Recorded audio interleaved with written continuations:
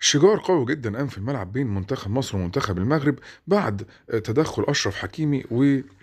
مصطفى محمد دخل اللعيبة على بعض وهب ورزع والحكم لايس في النص يا جماعة لغاية أما الحمد لله الأمور هديت وكملنا الماتش وكسبنا واتأهلنا نص النهائي يا جماعة يا جماعة احنا أقوياء قوي